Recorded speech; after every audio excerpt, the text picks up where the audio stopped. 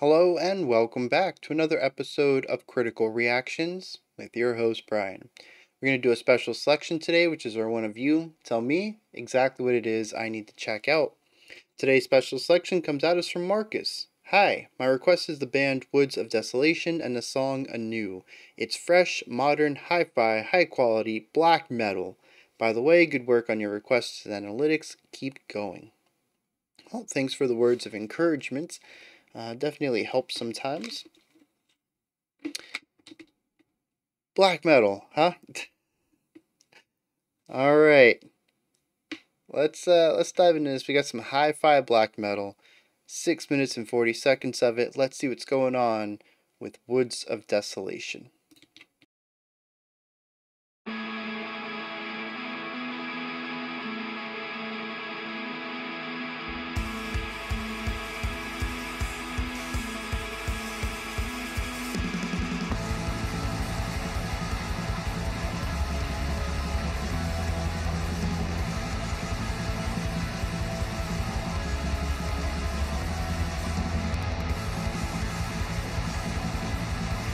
It's interesting because it's blackened for sure, but I get a lot of post rock out of this.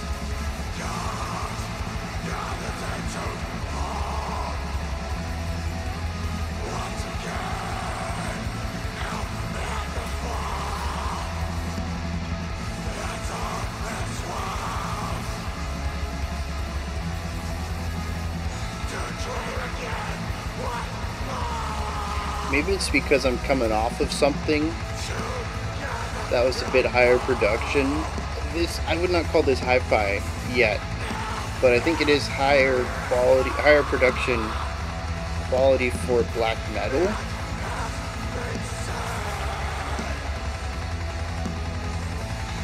It's, it's very compressed though.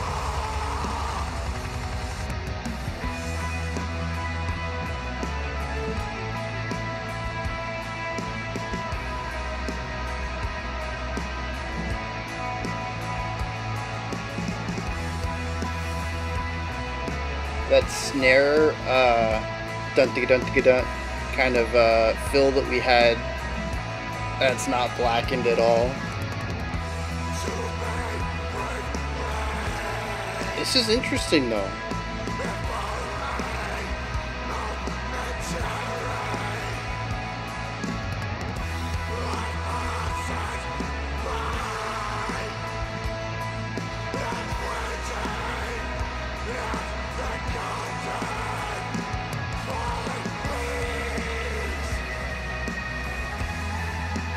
There's a lot of hopefulness in the music that is not coming through in the vocal delivery.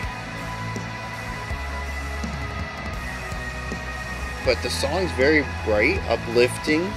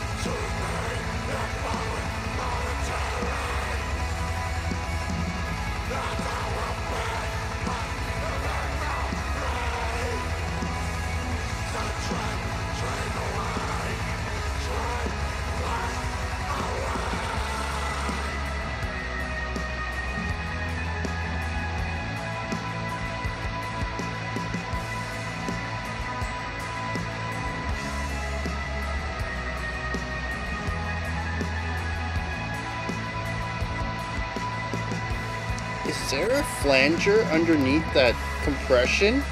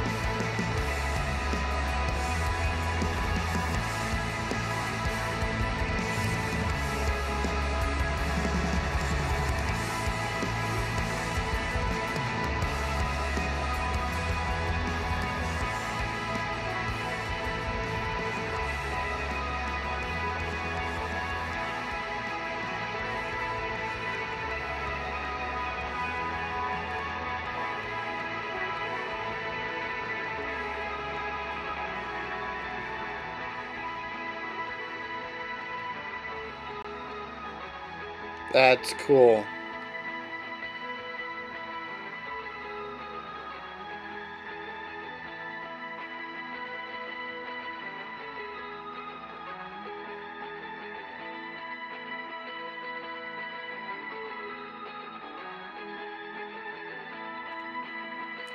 That that's a neat effect right there.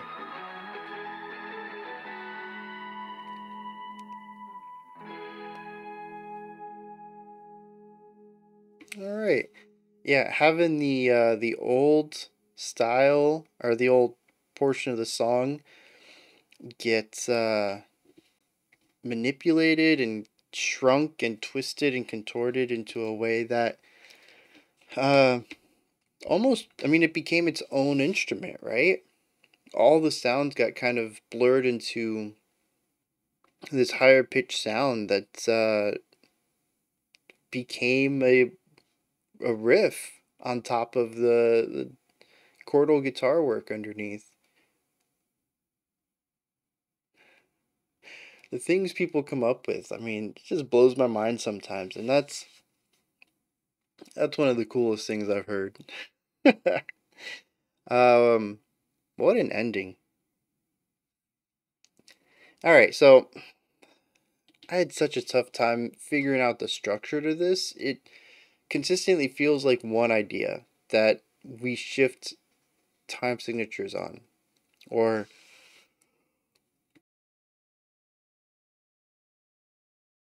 maybe tempos.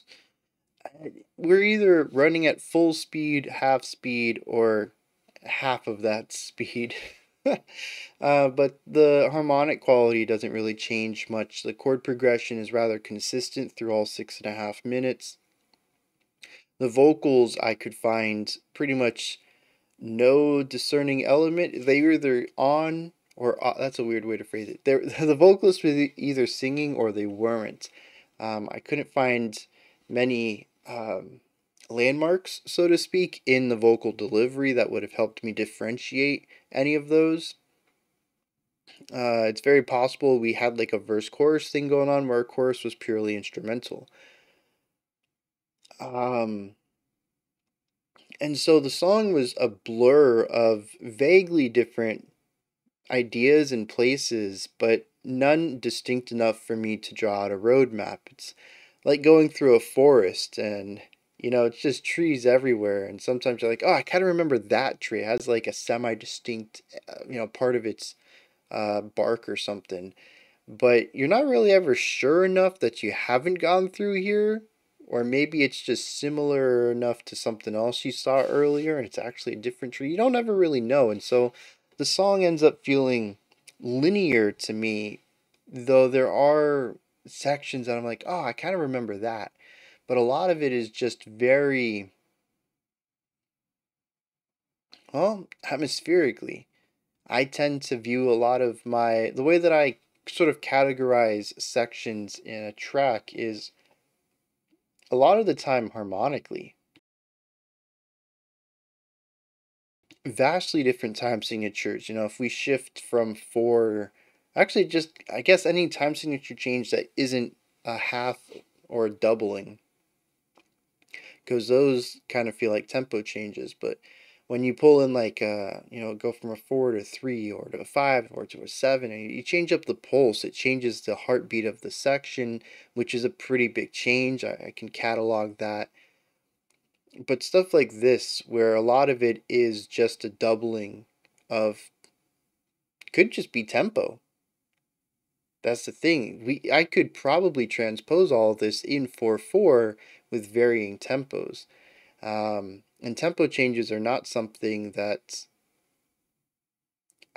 I don't know. I, I don't catalog them for some. It's not like I don't feel them. Of course, I feel them. They just don't seem important enough to me to be a distinctive landmark. Uh, which is interesting. I don't, don't think I've ever.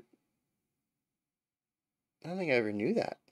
But yeah, I don't bookmark tempo shifts in my brain. Huh. I might have to. I think I found a is that a, a blind spot in the way that I listen to music. Critically, anyways. Um, and so I ended up listening to this not so much like I would black metal, but like I would post rock, which is something I picked up early on in the video.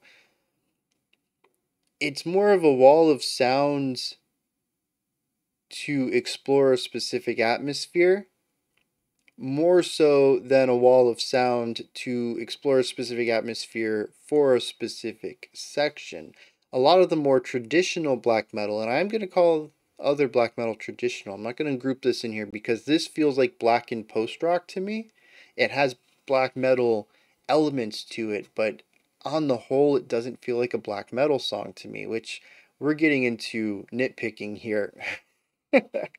but uh, you know, we'll we'll get on that topic a little bit. Black metal is a production thing to me. The production here is very blackened. Um, so uh, it's it's it's weird. But anyways, it does feel like an elongated exploration of a single section. We do have times when things change. When we cut to halftime, the drums back off a little bit or we cut to double time and the drums go into you know blast beats and and 16th note bass 16th note bass kicks. Um, there is a bit of a groovier section in the middle which is very far divorced from black metal kind of started to introduce a little bit of uh, groovy rock ideas but it all happens in the drums. The vocals never really shift, they're just always screaming, and they usually scream over the same thing happening in the guitars, which is 16th note picking. Those two don't really change much. The bass, I barely heard any of. Maybe that was on me, I don't know. Uh, black metal, black in production doesn't really do any. Doesn't really help bassists much but uh, I'll be honest, I was listening to the guitars for majority of this, looking for something new, and then I ended up not listening to any specific uh, element and just trying to engage with it uh, emotionally because it wasn't really changing much. And I figured, you know, let's disengage the old analytical brain and let's see if we can figure something else out. But I don't remember hearing any bass. So the drums are the only thing that really changes up throughout most of this and I do appreciate it. But there's also le- leans into one of my big problems with black metal in general and post rock, which I think it's just because we haven't had post rock on the channel in a long time. I never really made the connection. They're very, they can be very similar. Let me put it that way something I came to the conclusion of talking with uh, Grimner last week. Maybe it was the week before. And we talked about this on the live stream a couple weeks back too, I think. Um, that I think my big problem with black metal isn't necessarily the harmonic quality, which I tend to really enjoy, but it's the rhythmic quality and the rigidity of it. And so when the guitars play seven minutes worth of 16th notes and the drums play a majority of that seven minute time span of constant 16th notes, and the vocals come in and they tend to have a rigid rhythmic element to them as well plus a lack of melodic element in the vocals typically which i'm pretty big on melody. I don't know if y'all picked up on that yet. It's a genre that i understand and have elements in it that i enjoy but on the whole i think is going to be a tough sell for me period Um, it's it's not a style I think I'm going to grow to love. It's going to be one that I'm always going to have friction towards, uh, resistance towards. And the thing is, here is the drums do shift from time to time, and that should be good enough, but the things that they shift to are still rhythmically rigid. Instead of 16th notes, we have quarter notes or eighth notes, but there's no syncopation introduced to it, and I don't think that it really can. We've heard black metal with syncopated cymbals. The one that always comes to my mind is Mgła and the, their drummer, and he's just a beast on the cymbals. And there's, something so infectiously fun about the cymbal work over the rigidity and extremity of the rest of the drumming. In fact, I'm probably going to go watch that live drumming of Exercises of Futility 5, I think it is. Uh, like minutes 130 to like 245 or something like that is just a joy to watch. Now that I'm thinking about it, I have to go watch it. but putting groove into the bass kick and snare like you would for ska or punk. I don't know that it would fit. It would detract so heavily from what black metal is, which is a unification of sound to create this wall. You can't make that wall with syncopation because syncopation inherently requires space. You have to have differing amounts of weight for your instruments, which are going to introduce weight to them on instruments that can't hold notes out, which drum kits can't you hit it and you get the fade out you get the roll off of the of the sound but you can't hold the note out as long as you want so your quarter notes are going to have air space dead time after them even if it's just a little gap it's the reason that black metal uses the constant 16th notes the reason that post rock uses the constant 16th notes is because even on percussive instruments, you can still have that constant sound. You don't have breaks. Uh, and so when you introduce something like this into, when you introduce syncopation into something that requires consistency of sound, you're going to have gaps within it. It's not going to work. Um, so yeah, I, I would love to be proven wrong show me show me some black metal with some syncopated groove in it and yeah i might have a different opinion on it but i i don't think we've heard any outside of putting the syncopation on the cymbals which works because it's over top the rigidity. But that's what was going on here even when we moved away from the 16th notes, there's still a, heavy rigidity to the drums that emphasize the specific pulse based on the time signature without uh, any syncopation to change it up. It's consistent, it's constant. Um, and so the drumming, despite the variety of beats themselves, was still consistently boring for me. And I don't I got I want to rephrase that. It wasn't boring drumming, it was boring for me. I prefer to have a bit more dynamic rhythmically dynamic element to my uh to my drumming. So, I guess at the end of this drumming section, which has gone on far too long, I think, I just want to state that I think the drumming in here is interesting, and I'm glad that, much like the guitars, they're pulling in some inspirations from outside of black metal. Um, and I think it's really cool that they're doing it but it's still not my cup of tea. Right? It's a personal, subjective thing. That's where I want to land with that. Now, speaking about other instruments not doing what I would expect, the guitars are doing what I expect. Constant 16th notes, dyads, uh, crafting emotional atmospheres based off of chords between two guitars that are constantly playing endlessly. But their harmonic choice is different. A lot of black metal, probably because of where it stems from historically, is dark, angry, bitter, and eerie. Remember, black metal, from what I understand, started with a lot of uh, satanic connotations to it. Uh, and so having a darkness or an eeriness to the music makes sense. And so when we get something like this that is bright and hopeful throughout a lot of it, it is there's some melancholy to it. It is bittersweet in some places, but for the most part I felt joy, elation of sorts uh, an overwhelming type of joy, one that would probably cause you to cry. You're so happy that you tear up, right? That's what I get out of a lot of this, especially at the heights of these progressions. But interestingly, because I think because it doesn't fit my typical atmospheric idea of what black metal is, it pushes me into the realm of post rock, which I think if you swapped out the drums in a lot of these places, in fact, some of the places with the lighter drums in it, does feel very post rock, especially when the vocals aren't present. Um, the vocals are definitely blackened and pull it back in that, you know, toward that end of the spectrum. But it is really cool to see this sort of tug of war between black metal and post rock, at least how I see it. Granted, they're two genres that well, I have a lot of experience with black metal now, but I would not say I have a lot of experience with post rock.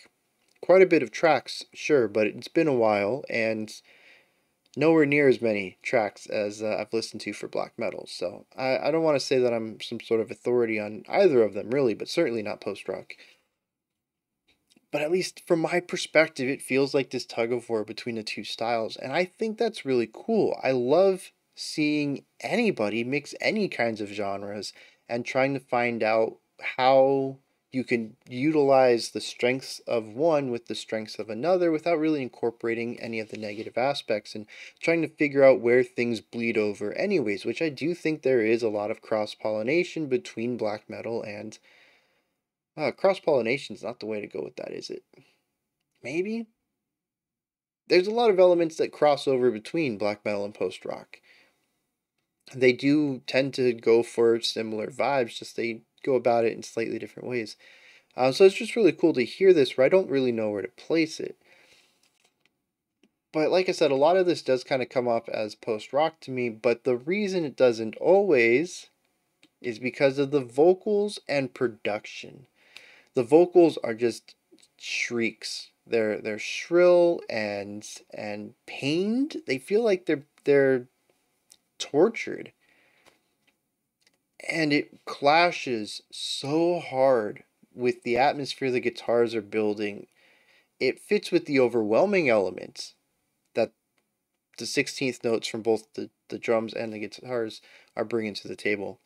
But the emotion I get from the dyads is the complete tonal opposite of the emotion the vocals are giving me. And I'm really curious what our lyrics are going to say because musically this feels uplifting and vocally this sounds like you're being tortured and I don't know where that where those two ideas can line up, where they meet in the middle. I I don't know where that point is. um gloriously tortured. Um ugh.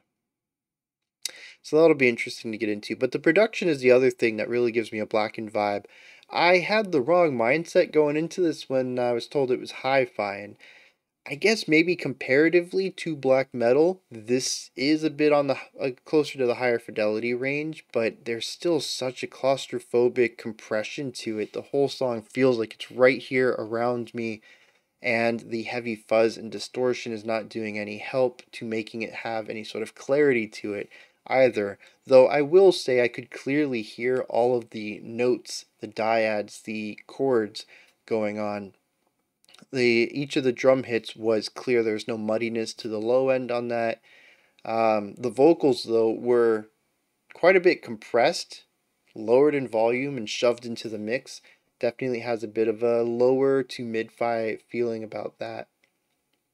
But like I said, comparatively, I guess this is hi fi black metal. But um, I just came off of listening to some stuff that was very clearly produced and cleanly produced. Um, and compared to what that was, I probably should have had a palate cleanser before coming into this. If I had known it was black metal, I would have. Uh, compared to that, though, this is pretty, like I said, low to mid range production as far as fidelity goes. It it goes for a grittier, smaller sound. So that is definitely black metal. Although I guess post rock could benefit from it. I don't think we've listened to any post rock with low fidelity production. But depending on what you're trying to make in the post rock genre, you could probably benefit from having something a little less clean. Um, I think I touched on everything. We didn't really get too much into the nitty gritty here. Like I said, the whole song just kind of blurs together for me, so I really could only pick at uh, larger ideas. But uh, you know, maybe something will pop up when we hit the lyrics, and I can make some some things connect. I, I feel like I have so many disparate parts of this analysis, and usually I'm like, and all of this comes together to mean this, and here I'm like, it, it's a bunch of things I heard. maybe the lyrics will help clean that up. And the vocal delivery, kinda. It's not growing on me. I'll say that casually, but I think it kind of works for the lyrics. The lyrics are positive. They're praising life. They're telling you that, you know, you really only have one life. And I use the word really. We'll, we'll get on that in a second. There's elements of rebirth in here, but it explores them in interesting ways. You have one life. Go out and live it as best you can because it is brief. There is positivity, there is celebration in this, but it also is told through the lens of just, you know, the utmost nihilistic grittiness. uh, the vocabulary, I mean. Uh, and it's kind of the same thing where we have this uplifting music told through this really gritty style of music. It's this blackened production with this uplifting post rock uh, instrumental work. And so this clashing of beauty and gnarly come together in the lyrics as well. It's not just about, hey, you know, life is short, so live at your best. Kind of, kind of got like pop country vibes to it. But it says, dust gathers into form, once again now and before. As all this was to dream again once more, to gather, unfold now and forever, as has been said once before, to be briefly, if only momentary. Life passes by as fleeting as the golden falling leaves. So gather, unfold once more, to be, if only momentary, as all will be but a memory. So dream, dream awake, dream life away. Come back to re begin again, forgotten anew, to dream life again. As all this was and has been, a dream anew. And it's just like the idea of being born again and knowing your time is short, but not knowing who you were and nobody knowing who you were. The idea of rebirth. Uh, we can't tap into our past lives and nobody can recognize us from our past lives. We are forgotten again. We are beginning again. Again, we re begin again, as they state. Life is the dream, it is the momentary portion of non existence, which I think is beautiful and heart wrenching. to think about our the way that we view living and sleeping right and dreaming right? So dreaming would be a small portion of your your night cycle uh, your dream cycle your sleep cycle. There we go. You sleep if if we sleep according to generalizations of a third of the day, right? 8 hours of sleep. So it's a small portion of your day. It's a big portion, a third, but it's the smallest portion. You have two thirds of being awake and active. And then you only have a portion of those eight hours dedicated to dreaming. Because you have to be, I think, in REM sleep to dream, correct? Or some sort of deep sleep state. I don't think you can sleep in the first couple of states of sleep. Or I don't think you can dream in the first couple states. So a small portion of the smallest portion of each of your days is dedicated to dreaming. If we take this idea of a small portion of your existence is dedicated to this other reality, this other state of being, your dream dream worlds are not real worlds. This world of us living is the momentary aspect of our non existence. and thus it is the dream state of our non existing being. I think that's a really cool way to go about phrasing that. But it also says, despite this being a cycle, and despite it being so momentary, go ahead and do this. Do it with everything you have. Gather and unfold once more. Even if it's only momentary, do it. Be. Exist um, and it's very powerful message told in like the strangest non-uplifting language there is um and yeah i mean eh, it it kind of works with the music i, I didn't think i was going to get turned around on this i didn't the vocal seems so disparate from the music and yet I I think I'm coming around to the choice. I think it works here. Granted, like I said, it's it's abrasive to my ears on its own, but artistically, thematically, it works a lot better I thought it was going to. Those are my thoughts on Woods of Desolations anew. What did you think of this track? Anything that stood out to you? Anything you'd like to add on to what I said? Correct me on, give me your own perspective on. Let me know any of that down in the comments. Above the comment section in the description box, you'll find a link to Linktree takes you here. You can find my music, ways to support the channel, a link to the Discord server, and so much more. Above that, if you could, like, subscribe, and ring the bell. Greatly appreciate all three. We do have a creator request coming up next. We They have been featured before, I think on creator request even, um, and I really enjoyed what they were doing. They're called uh, Sanguine Glacialis, Glacialis, um, I gotta get, I gotta do a bit of a refresher on myself. Go back and listen to the last track we did, but I, the name, I have positive connotations with, so I'm excited to give them another look. It's their new track that came out last month. Um, if you're not interested in that though, we do have an album review tomorrow live stream on Sunday for patrons. I'll try to have that out by 5 p.m. for everyone else. Hopefully, it won't be blocked mere minutes after it goes live. What was the point of you ran checks on it? You said it was good to go. I released it, and you said, ah, actually take two backsies. It's blocked. Um, and then I had to re-release it on Monday when I noticed it. So that was annoying. Hopefully, that won't happen this time. Uh, and then Monday we'll start next week's theme, which is uh, unexpected features unlikely features. Um, when a band features another artist or another band that you just wouldn't expect being mashed up that way. Uh, it's going to be real interesting, I think. All right, until next time, remember to be critical, not cynical, of the music you listen to, and have a fantastic morning, afternoon, or evening whenever you choose to watch my videos.